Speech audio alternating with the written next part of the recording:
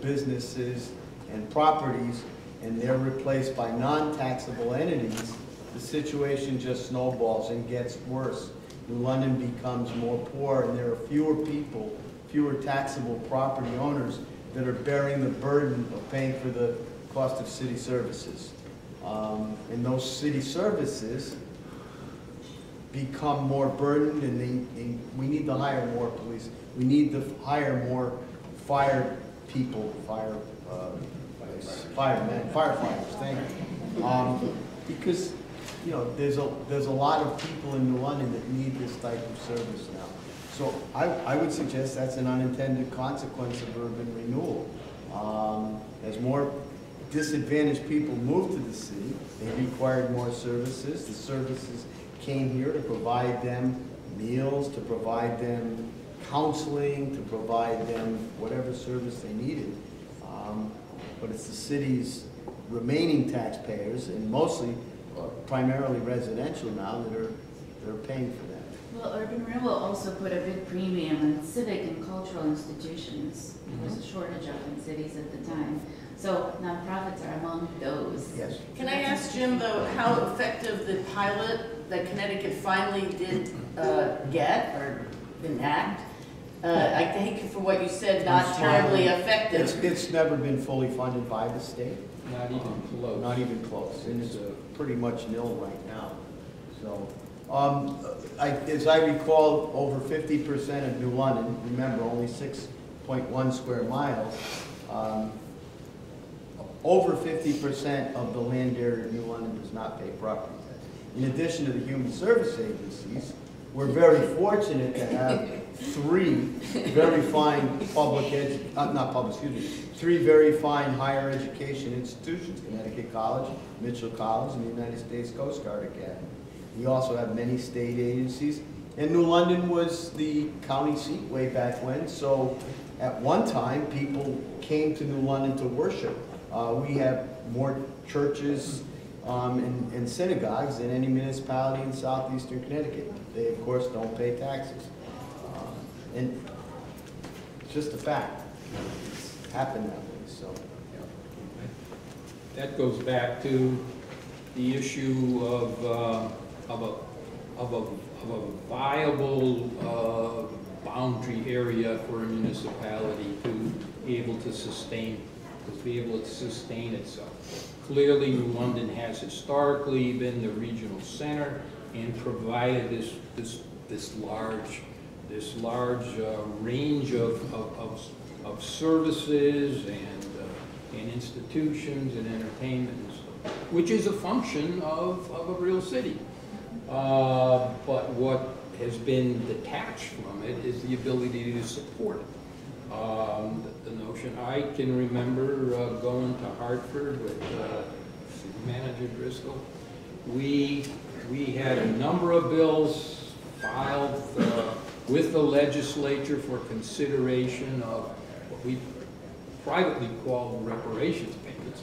Our surrounding neighbors were benefiting from, from the city performing this function, taking the poor, taking those that had some problems or illnesses or what have you, coming to the city, uh, and then not, uh, you know, not participating in the cost of that. Um, At this point, the legislature, uh, way back in the seventies, had the, the, the power structure moved from kind of the urban dominance in the legislature to suburban, and every year that would uh, get kind of, thank you very much, and get laughed out of, and dies in committee, and over and over and go, and, and, and the urban areas still try various tax sharing, uh, uh, initiatives over, over the years, and none of them have, have uh, received any serious consideration at all. And, uh, and uh, I think that's, you know, that's, that's a real problem. Some of that got solved, um, the city could do a much better job throughout, from the physical side to, to the social, social side that it, uh, that it supports, and, and would, would remove the kind of the disproportionate burden that's placed upon uh, uh, local residents. Um, Well, we've touched on a lot of things. I guess I would say that um, we're living in a nation today where I think there's tremendous inequity um, between cities. We have the cities that are prospering, you know, New York, Washington, San Francisco, Los Angeles, um, you know, maybe Atlanta, you know, and then you've got the Baltimores and the Bridgeports and the Clevelands and the, you know, and so we have this a, a nation of real difference in how cities are doing, but I think the, the, the great problem is that even in the cities that are doing well, there still are many of the same problems that these urban renewers were trying to deal with in the 1950s. The issues of affordable housing are tremendous, whether a city is actually rich or poor today. Um, the, uh, if you're at a, a fire economy, you know, of finance, insurance, real estate, tech, you know, you're, you're doing well, but other people who are there living in those cities to service the, the people who are now living downtown and not fleeing to the suburbs are in many ways struggling um, with schools that often aren't adequate in unaffordable housing and so forth.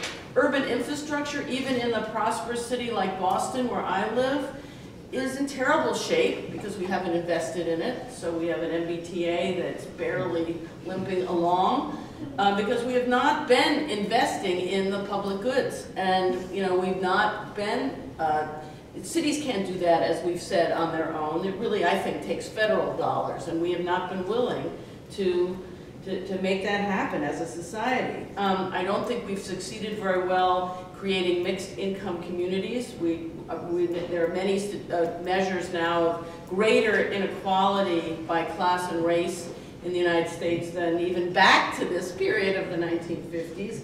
And um, this issue, I'll just close on the issue of the, the, that, uh, that you both touched on of this, our, our difficulty operating beyond the locality the unwillingness to have metropolitan problem solving, regional planning, um, leaving, you know, then creating a world of the haves and the have-nots because where you live, that address, that community, that tax base determines the quality of your services, of your schools, of your transportation, of so many things. And so our, you know, unwillingness, our dependence on that, that locality and as a uh, and local property taxes for revenue. Connecticut being, you know, out there with New Jersey, I think, as probably the most property tax dependent state, um, you know, leads to these kind of problems. And I think my own view is until we take on the big scale of them, we will just continue to, to, to, to, to struggle with many of these problems. Well, I'd like to open up uh, to our audience, because I'm sure there'll be a lot of questions.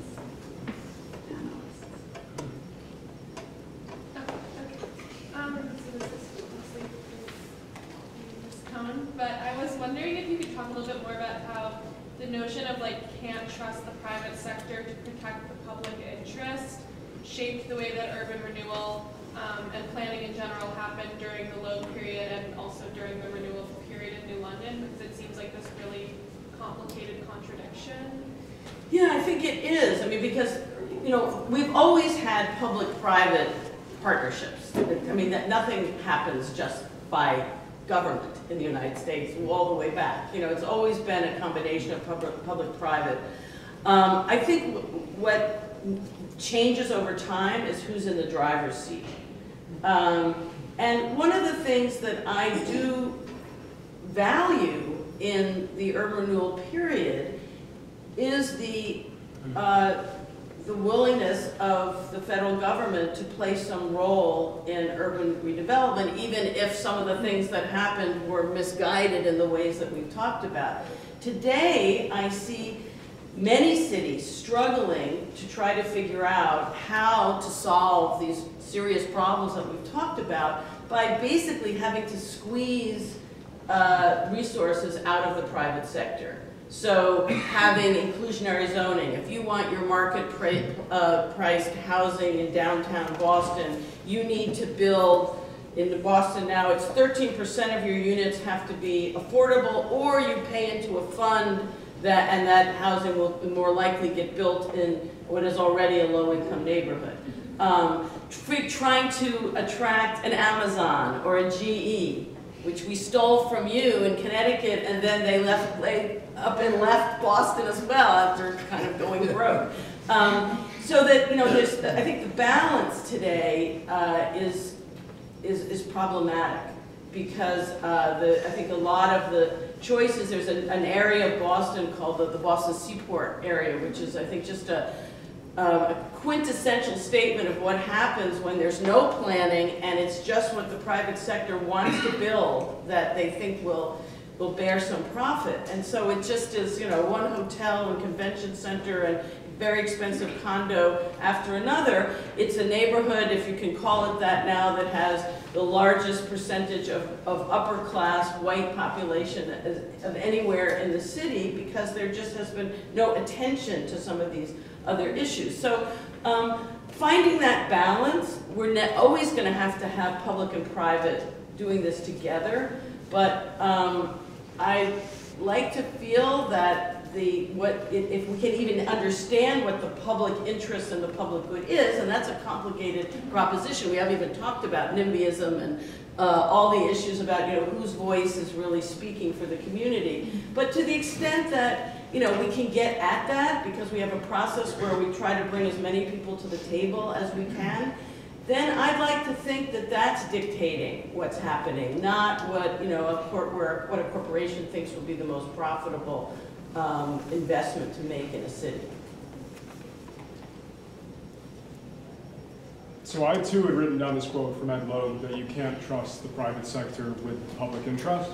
And I think, in a sense, this very conversation we're having is operating at the level of the private sector. And so I'm wondering if you believe that too much of the discourse and modern critique surrounding urban renewal exists in a sort of elitist echo chamber, and whether the manner of conversation with which we discuss urban renewal needs to further cross socioeconomic, socioeconomic boundaries to avoid perpetuating the very problems that we study and critique.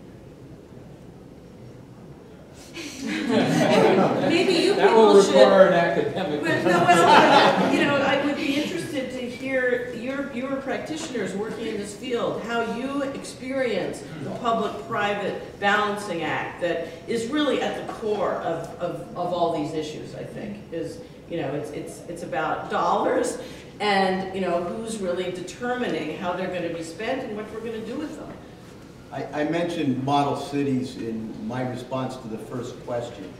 And if I understand model cities correctly, it, it's, um, it was like urban renewal phase two or three.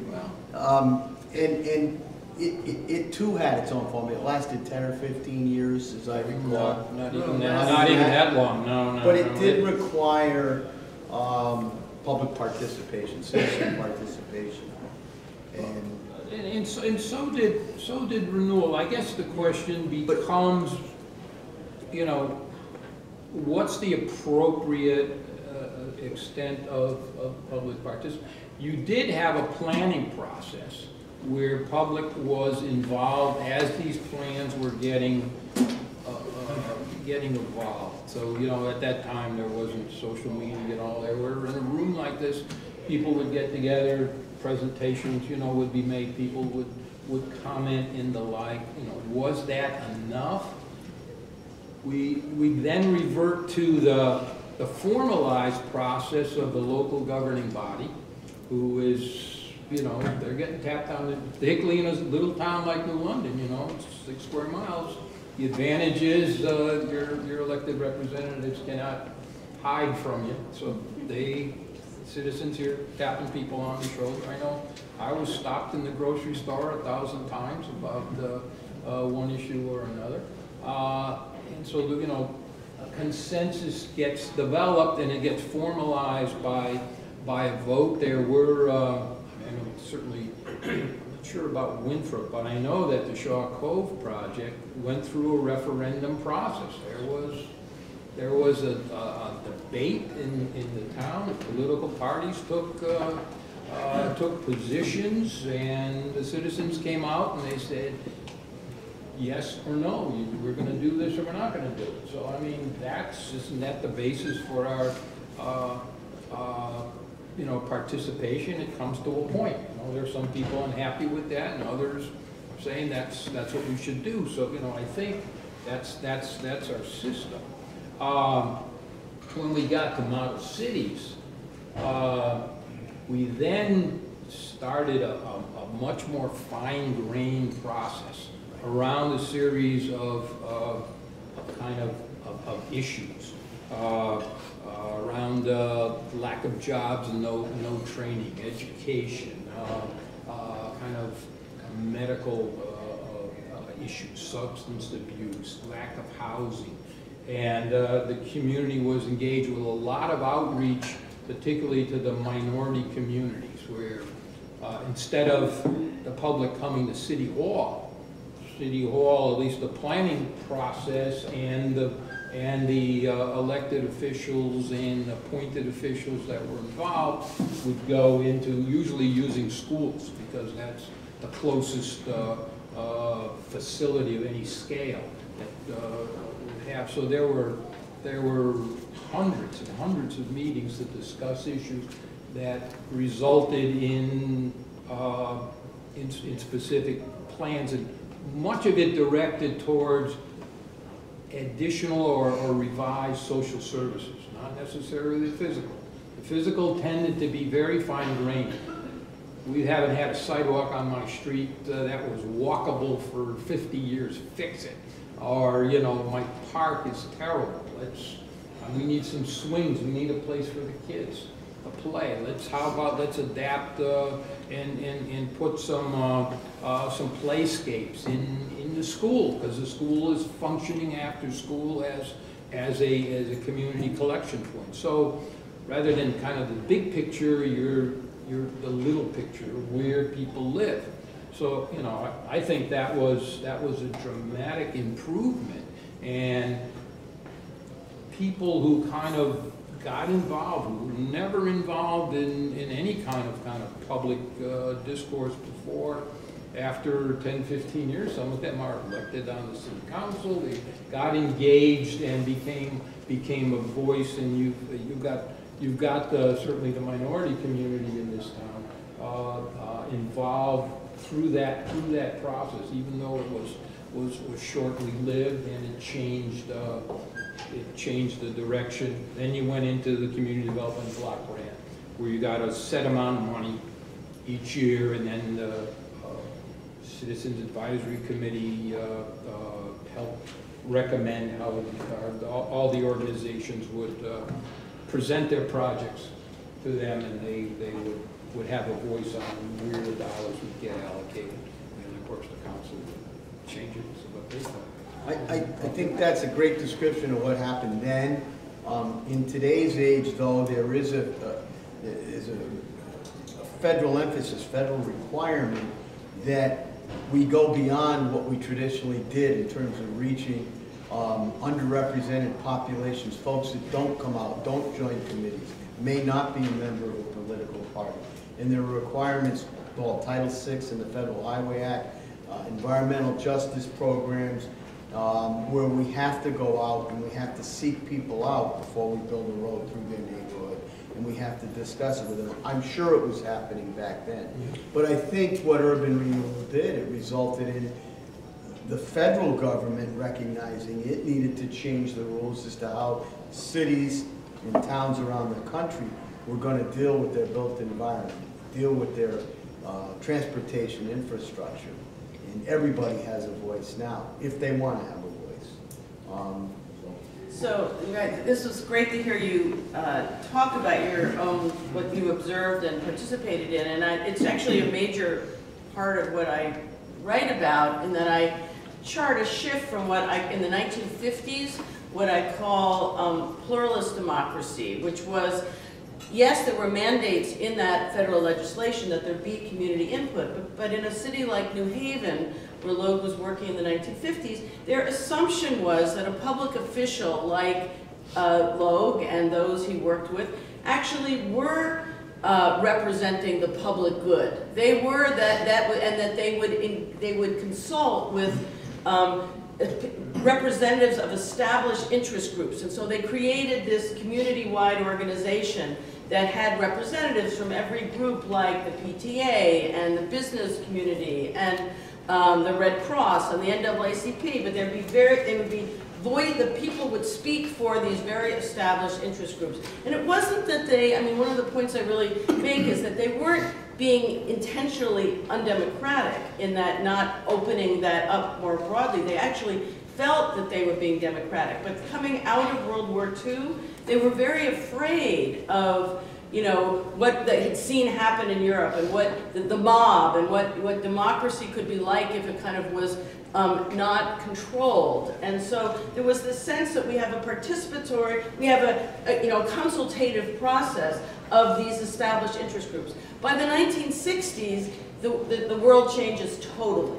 And that I call a participatory democracy. And it comes, I don't think so much from the top down. I think the feds and you know, people like Logue would have been perfectly happy to continue to make decisions for communities, um, feeling that they were doing it with the community's interests at heart. It really came from people pushing back and saying, wait a minute, you're not consulting with the people who are being affected by these programs. And so, and it was particularly in, in New Haven, in a city like New Haven, it was the African American community that really said, wait a minute, we're being pushed, even though the the established uh, NAACP and CORE and many of those people really thought urban renewal would help their people because they would, it would open up parts of the city for housing that had been closed off through a kind of segregated housing market, real estate market that wasn't what was happening. And so kind of grassroots people started to push back and say, wait a minute, we've got to have much more community input. And then the, the, the, the situation changed. And today we live in a world that some people think is perhaps too participatory and that it's going to be very difficult to make decisions that affect a city as a whole because every neighborhood has its own sort of mentality, NIMBY sort of investment. Um, and so I think we face different kinds of challenges today. There's lots of community input that can actually stop change when taken too far. But I think this is a very important historical process that was both pushed from the bottom as well as recognized as a necessity by the top. We have a lot of questions. Uh, yeah, Yeah, I, I don't um, remember in any of the urban renewal projects there being a lot of citizen public participation. The, the, the first project, the Winthrop project, no, even the ones before that, the little parking lot ones, were um, pretty much driven by the Chamber of Commerce and by the, uh, the merchants, the, the downtown merchants. They were pretty much the force behind that. Um, and, uh, and even, even as late as, as the, uh, the Fort Trumbull project, they had neighborhood meetings, but they were really, people came in uh, and, and talked down to the people and said, well, what do you think of, of this plan that we're, we've already decided we're going to do? Um, and uh, so I'm not sure that there was not all that much participation. Model cities were even something, I think the Model Cities program was basically put out of business by the, uh, by the establishment. Um, and I can think of the newspaper. Um, we, um, the, we did an our first. The day did our first investigative uh, project on the Model City program.